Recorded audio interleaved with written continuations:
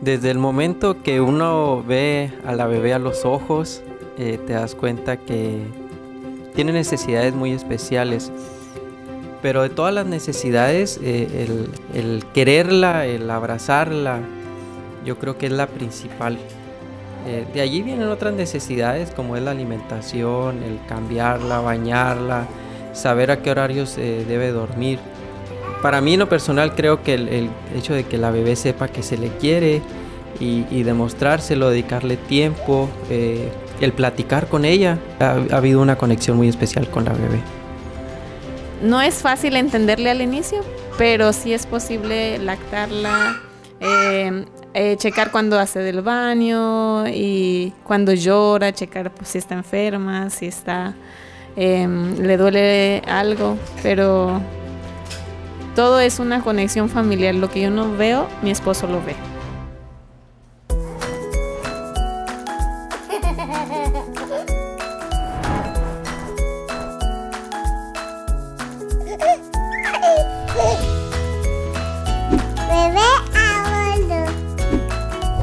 Hola amigos, ¿qué tal? Los saludo desde la guardería, mis amiguitos de la Universidad de Montemorelos. Es un gusto saludarles.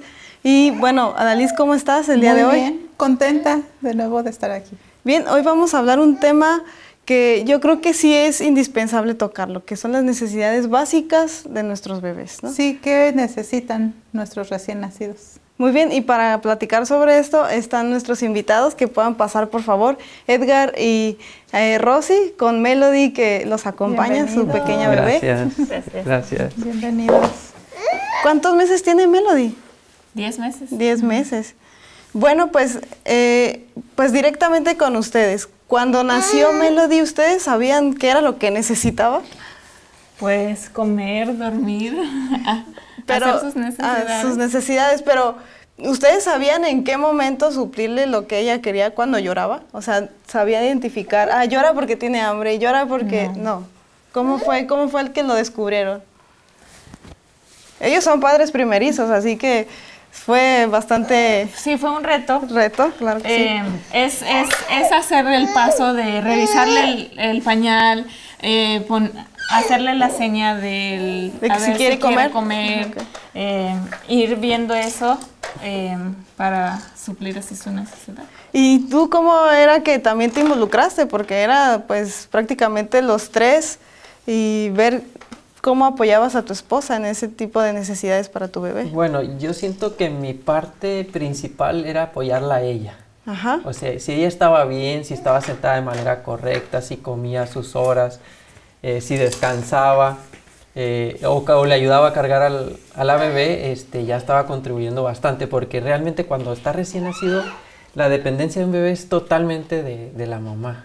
O sea, uno solo la carga un ratito o la ayudaba a cambiarla, eh, a bañarla muy poco, este, pero yo siento que, que la parte fundamental es que la, mamá se apoya en su esposo para estar bien y ella puede suplir las necesidades de la bebé. muy bien, Ada. Importante cuáles son realmente lo que necesita un recién nacido. Así, ¿cuál es la necesidad básica? Pues como ya mencionaron ellos, yo creo que los seres humanos conforme vamos creciendo, nos vamos haciendo de más necesidades. Las vamos convirtiendo en necesidades. Pero un recién nacido, eh, algo que ellos realmente necesitan es amor, estar con sus papás, comer, que es una necesidad básica, hacer sus necesidades y dormir.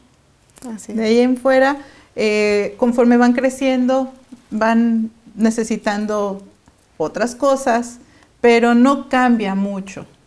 Es eso, más aparte, un poquito más, la atención cambia, eh, el estímulo cambia, el, el tiempo que pasan con ellos cambia también pero es siempre lo mismo. ¿Cómo pueden establecer comunicación desde que ellos son unos bebés de una hora de haber nacido? Sí, los bebés desarrollan el oído desde el vientre, desde que están en, el útero.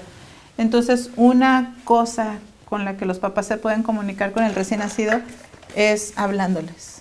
Ellos entienden, reconocen la voz del papá, reconocen el latido del corazón de la mamá, su voz que han estado escuchando todo ese tiempo. Ese es un, vínculo que ellos establecen y es la forma de comunicarse.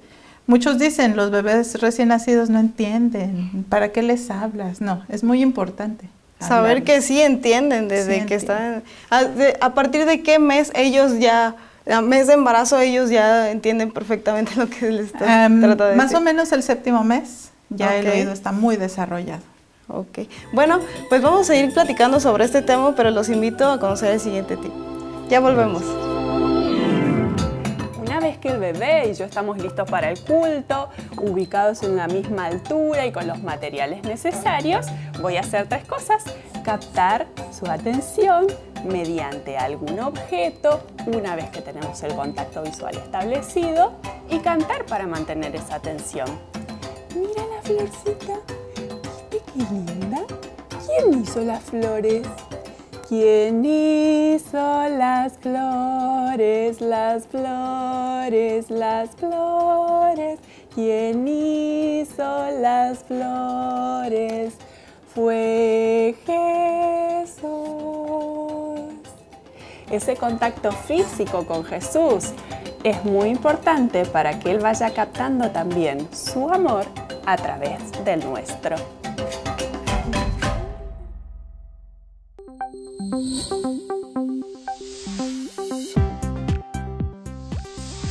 La familia es el núcleo de toda sociedad, por lo tanto es importante para el crecimiento de buenos seres humanos.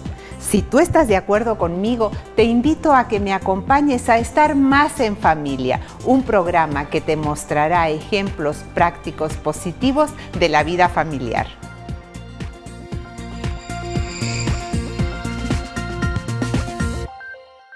Y bien, ya estamos de vuelta para seguir platicando sobre las necesidades básicas del bebé. Y Edgar, en el bloque anterior Adalys dijo que, bueno, ellos van creando, mientras, creando necesidades mientras van creciendo. ¿Tú cuáles fueron las que notaste mientras menos crecían día a día? Bueno, no sabía de exactamente cuáles eran sus necesidades, pero lo que yo siempre hacía era hablarle, este, platicar, cantarle. Y me di cuenta que si seguía haciendo ella eso, ella hacía más sonidos, entonces este también contribuía al desarrollo. Ajá, con su desarrollo. Y sí, mientras va creciendo, yo por lo menos de manera personal vi que podía estar más con ella. Entonces cada vez que tengo oportunidad dejo que ella descanse, que haga alguna otra actividad y yo me la llevo a pasear una hora, dos. Entonces sí es, es, es bonito que, que, uno tenga la, la, oportunidad de interactuar, de estar con ella y apoyar a la esposa, que también es muy importante. Muy bien. Ada, ¿Cómo pueden los padres y también la familia cercana eh, contribuir a un ambiente sano para ellos, saludable? Em, creo que la familia extendida es muy importante, los abuelitos, los tíos, ¿no? el apoyo, que los bebés se sientan que tienen una red de apoyo conforme ellos van creciendo, en donde puedan ir y refugiarse, ¿no?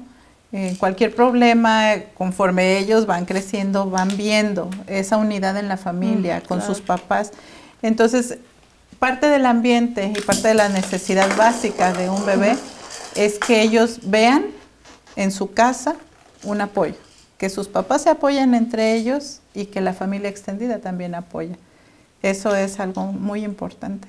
Que lo pueden tomar en cuenta nuestros padres primerizos.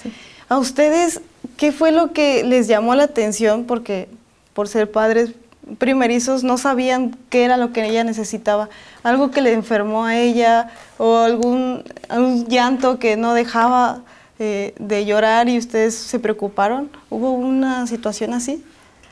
Eh, me pasó algo que quizás suene muy, muy obvio, pero lo del jabón con su ropa y las alergias de su piel. Ah. Entonces, creo que a pesar de parecer muy obvio, por primerizos que seamos, es necesario volver a mencionarlo, que, que hay algo especial para lavar la ropa del bebé. No es el detergente normal, eh, para evitar las alergias.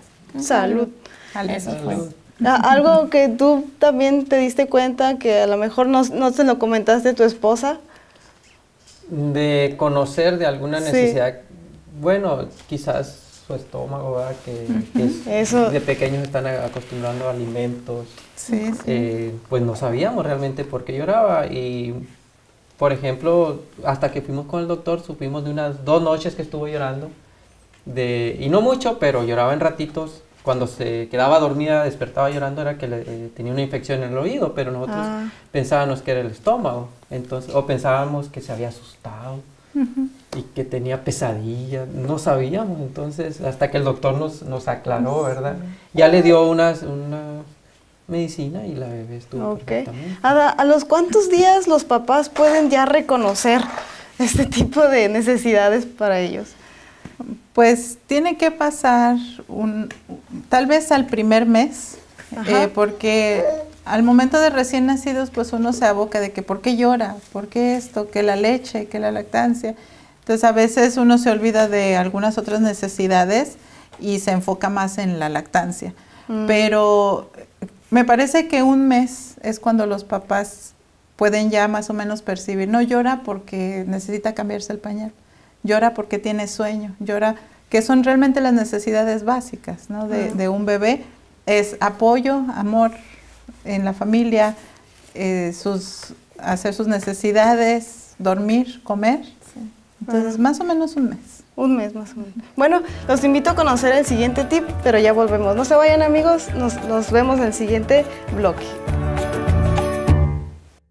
La cartilla de vacunación es importante porque debemos tener en cuenta que las primeras vacunas que se tienen que poner al recién nacido son la BCG, la hepatitis B y estas dos vacunas se ponen desde el momento de recién nacido.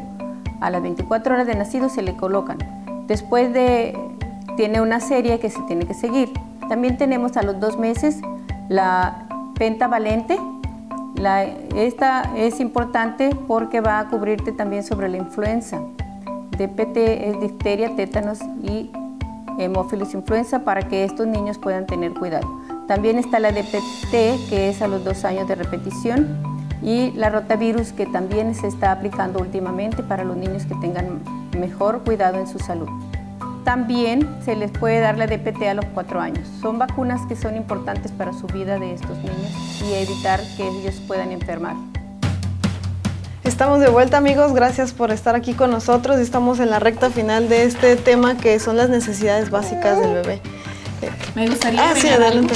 Eh, dentro de lo que son las necesidades básicas, en mi experiencia puedo considerar que haciendo la comunión de espiritualidad con mi hija, pude encontrar que hay, que ellos tienen una necesidad de expresión básica. Que como mamá o la que paso más cercano a ella, puedo llegar a entender. Y es, en cada etapa ella va viviendo eh, diferente manera de expresarse y darse a entender. Y he podido llegar a, a comprenderla a medida de que ahora ella me entiende y ella me sabe dar a expresar lo que ve en su librito devocional espiritual. Ella canta conmigo y sabe marcar pautas. O sea, si está aprendiendo, está aprendiendo. Y, siento que, que, es importante es, eso de enseñarle. Y con esto, Alice, yo creo que podemos terminar con nuestra cita. Sí, es una cita que es algo básico de las necesidades se encuentra en Proverbios 22.6 y dice, instruye al niño en su camino y aun cuando él fuere viejo no se apartará Muchas gracias por estar aquí con nosotros. Gracias amigos. Dios los bendiga.